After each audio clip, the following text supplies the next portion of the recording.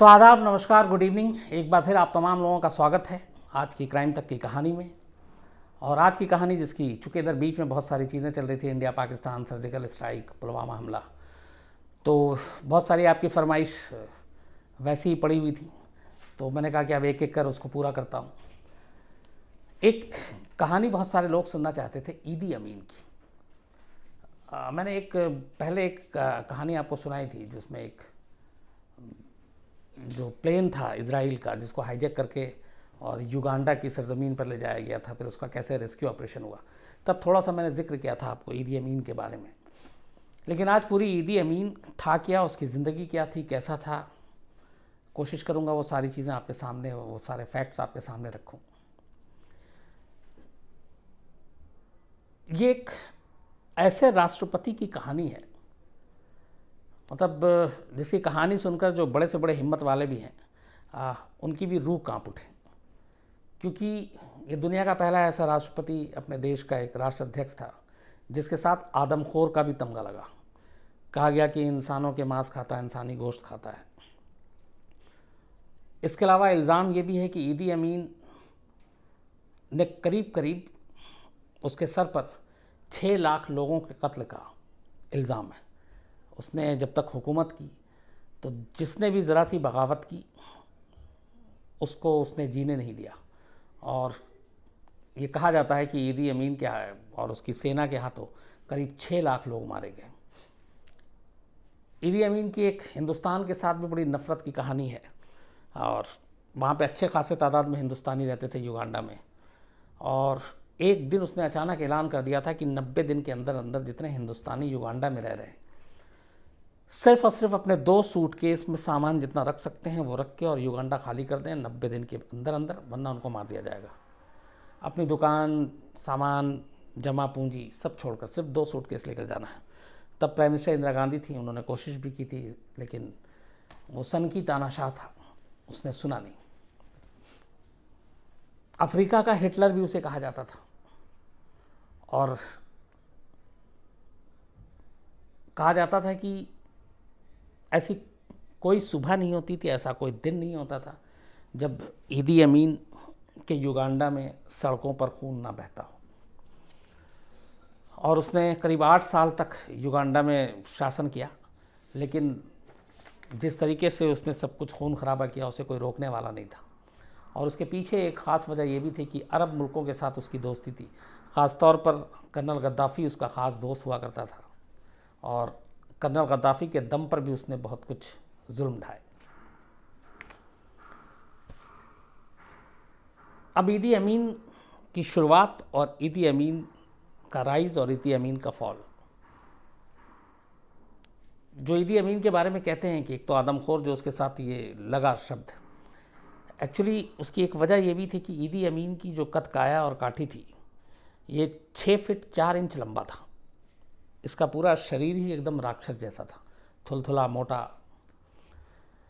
और इसका वेट जो था उस वक्त 160 सिक्सटी के जी था 160 किलो छः फुट चार इंच हाइट 160 किलो वेट और ये सेना उस वक्त वहाँ पे जो ब्रिटिश तमाम और ये लोग थे उससे पहले जो आ, शासन करते थे। लेकिन तब वहाँ पे युगांडा में एक अपनी सरकार थी। और उस सरकार में सेना में बतौर खानसामा ईदी अमीन काम करता था और वहाँ के आर्मी में था खानसामा के तौर पे काम करता था। लेकिन खानसामा के साथ आर्मी में काम करने के साथ साथ जो इसकी जो जो इसकी तरक्की हुई, उसकी एक वजह दूसरी थी। चूँकि इसकी कद काठी छः फिट चार इंच लंबा 160 किलो का वेट ये बॉक्सर बहुत अच्छा था। और इसने सेना में रहते हुए बॉक्सिंग चैम्पियनशिप में हिस्सा लेना शुरू किया।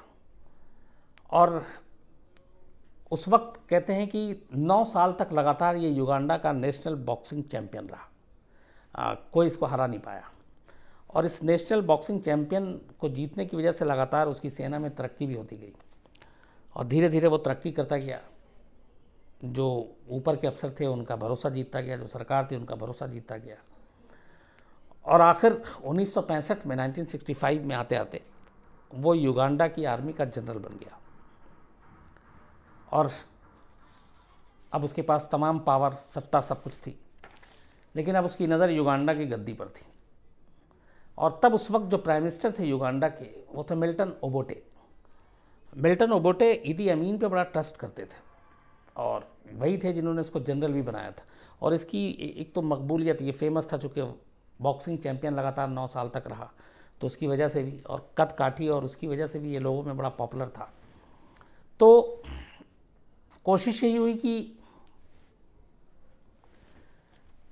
जो भरोसा था वहाँ के प्रधानमंत्री का, उस भरोसे का खून करेगा ये उनको एहसास नहीं था। 1971 में ये जो प्रधानमंत्री थे, मिल्टन ओबोटे, ये सिंगापुर के अपने दौरे पर गए हुए थे। राज, राजकीय दौरा था, वहाँ दौरे पे गए हुए थे। उनके दौरे पे जाने के बाद उनके पीछे में ईदी अमीन ने अचानक तख्ता पलट दिया। प्रधानमंत्री देश के बाहर हैं युगांडा के। ईदी अमीन जनरल है आर्मी का। वो बाहर गए और इधर उसने अपनी जो सेना थी, उसको लेकर सिर्फ़ तीन घंटे लगे थे उसको, पूरी युगांडा पे कब्जा करने के लिए। चूँकि आर्मी का जनरल था, तीन घंटे में उसने पूरे युगांडा पे कब्जा कर लिया। युगांडा की जो राजधानी कंपाला, वहाँ पे उसकी पूरी सेना जो है वो सड़कों पर मार्च करने लगी। 25 जनवरी 1971 ये तारीख थी 25 जनवरी 1971 जब prime minister Milton Obote Singapore में थे और तीन घंटे के अंदर अंदर इसने युगांडा की सत्ता पे काबिज हो गया, कब्जा कर लिया। और फिर पूरे युगांडा में बड़े खुशियाँ भी मनाई गई, अब या तो सेना के डर से या जो भी हो। लेकिन उन्हें लगा कि चलो, एक ईदी अमीन आया, नेशनल बॉक्सिंग चैंपियन है, पॉपुलर है तो ये कुछ अच्छा करेगा। तो शुरुआत में लोगों को ये गलत फहमी थी। इसके बाद ईदी अमीन जैसे ही वहाँ का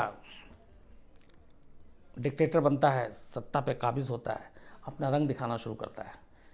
जो भी लोग, जो प्राइम मिनिस्टर मिल्टन ओबेटे के विरोध जो समर्थक थे, उनको एक एक करके इसने मारना शुरू किया। जो आर्मी में इसके ख़िलाफ़ उसे लगा कि जो लोग होंगे, उनको एक एक करके मारना शुरू किया।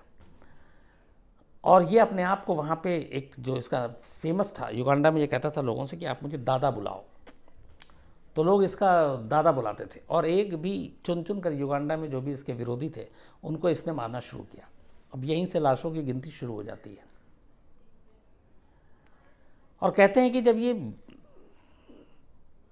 नेशनल चैंपियन था, उसी वक्त से जब इसने कई ऐसे लोगों को मारा, जब ये सेना में था, और तभी इसको आदमखोर बनने की इसका सिलसिला भी शुरू हुआ था। कई लोगों के ये मांस खा जाता था।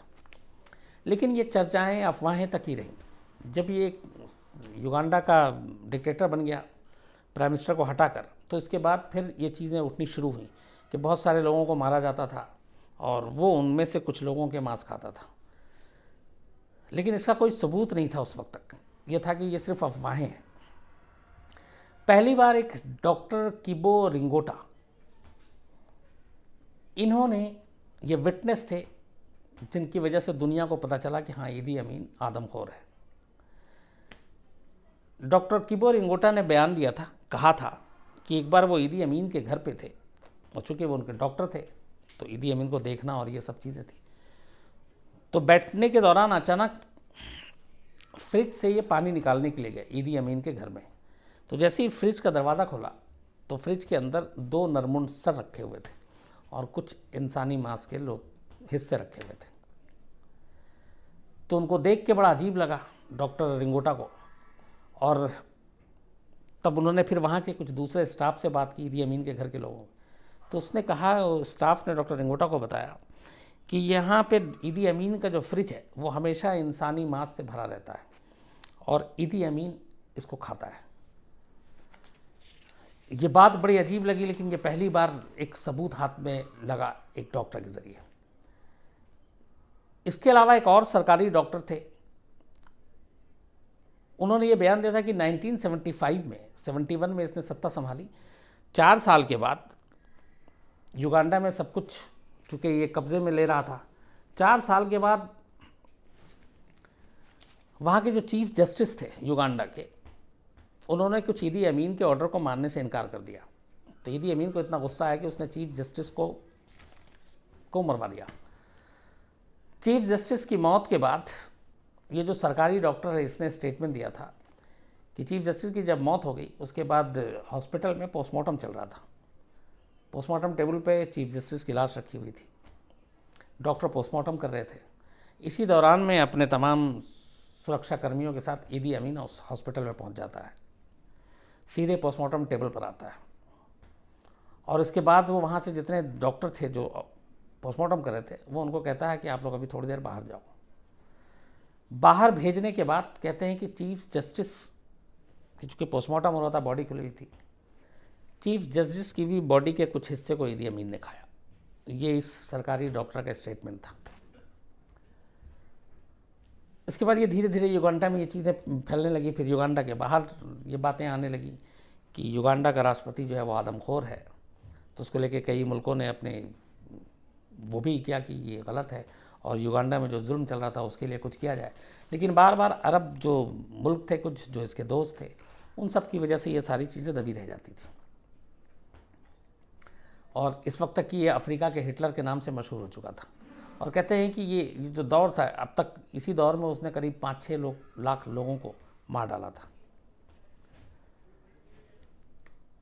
ईदी अमीन के बारे में एक और चीज़ है कि युगांडा में जो भी खूबसूरत लड़कियाँ होती थी, जिसके ऊपर ईदी अमीन की नज़र पड़ जाए तो फिर वो बचती नहीं थी। ईदी अमीन उनको ज़बरदस्ती हासिल कर लेता था। हालाँकि ख़ुद ईदी अमीन की ऑफिशियली छः बीवियाँ थीं, जिनसे पैंतालीस बच्चे थे। लेकिन एक ये भी कहते हैं कि उसकी करीब पैंतीस से ज़्यादा औरतों के साथ रिश्ते थे और उनसे सौ बच्चे थे।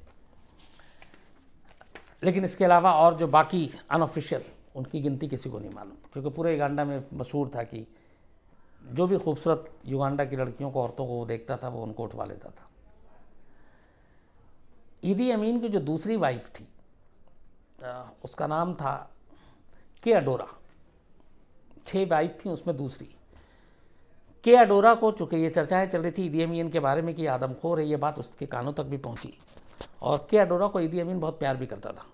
लेकिन के अडोरा को जो सेकंड वाइफ थी, उसको ईदी अमीन से ये किस्सा सुनने के बाद आदमखोर वाली, उससे नफरत होने लगी। और इसी बीच में जो एक डॉक्टर हुआ करता था, जो ईदी अमीन की फैमिली और इसके घर के लोगों के इलाज करते थे, उनमें से एक डॉक्टर के साथ के अडोरा की मोहब्बत हो गई। ये बात ईदी अमीन को पता चली। कहते हैं कि ईदी अमीन ने के अडोरा को इस खबर के मिलने के बाद ऐसी मौत दी कि लोग सुनकर जिनका कलेजा काँप जाए और साथ में फिर उस डॉक्टर को भी और उन दोनों को मार डाला।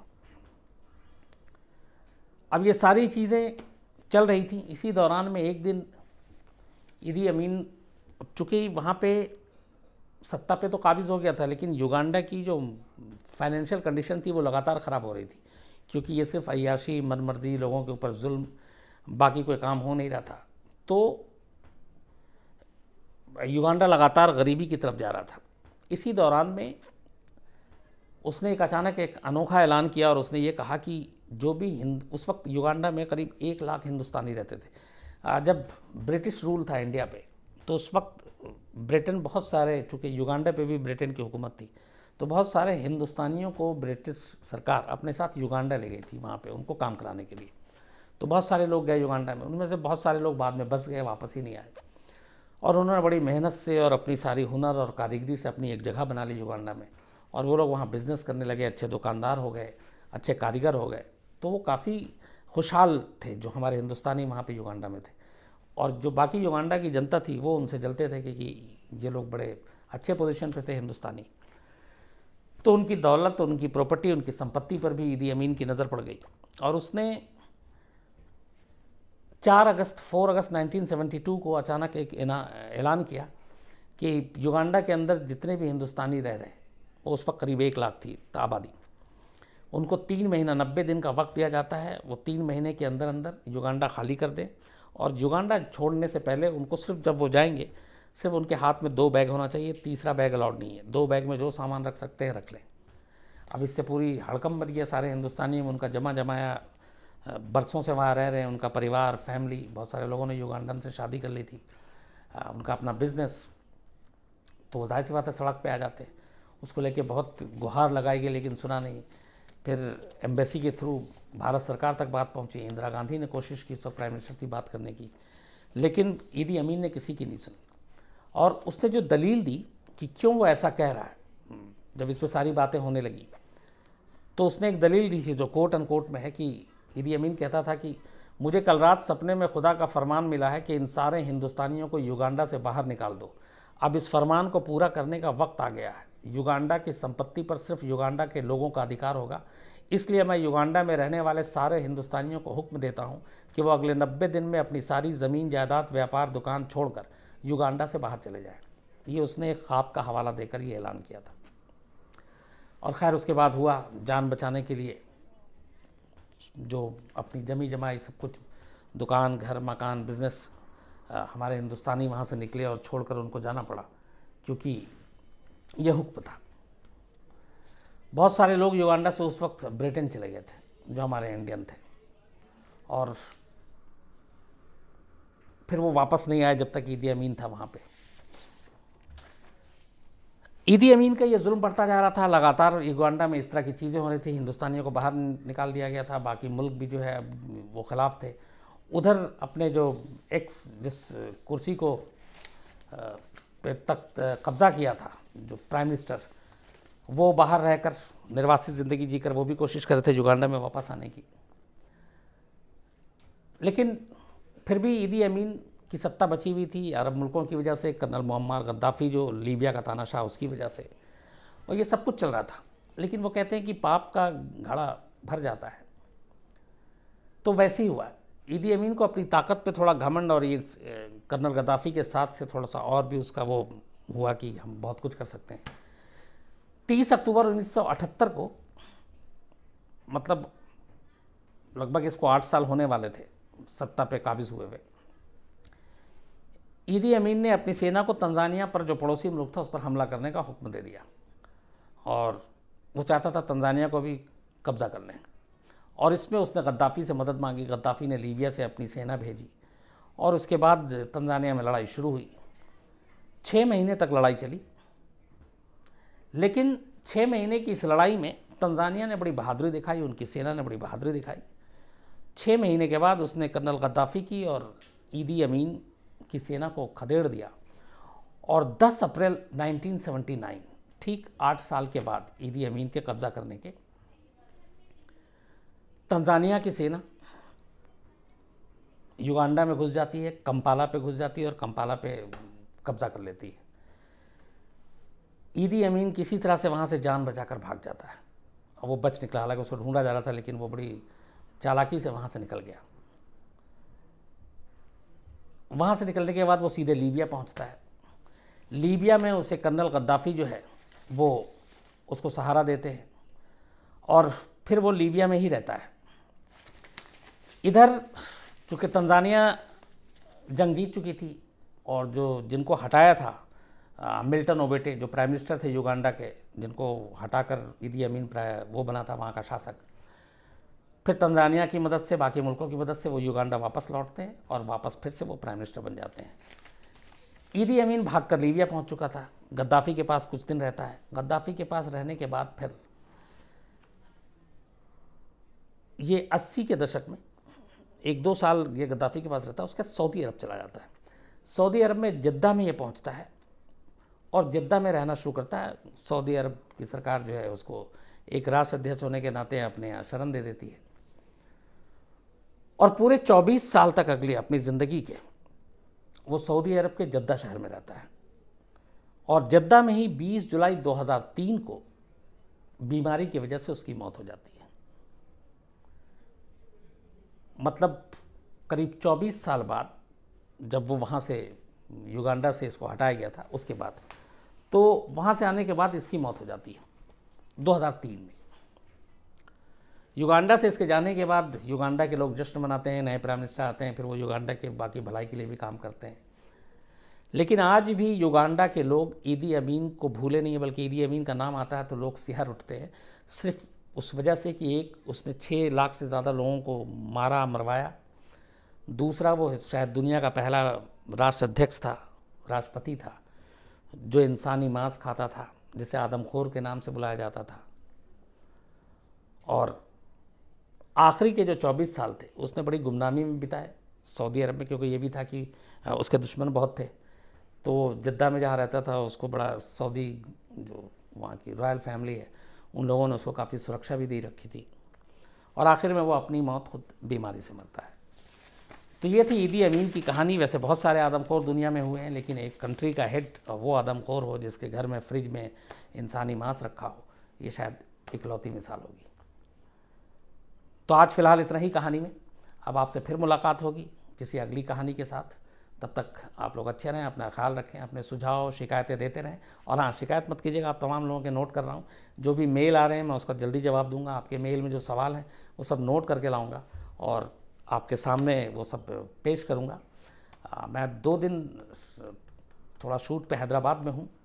कोशिश करूँगा हैदराबाद से मैं लाइव नौ बजे का अगर मौका मिला और उस वक्त कोई काम नहीं हुआ शूट का तो मैं वहाँ से आपको कहानी सुनाऊँ। और ये मेरी पूरी कोशिश होगी। Thank you very much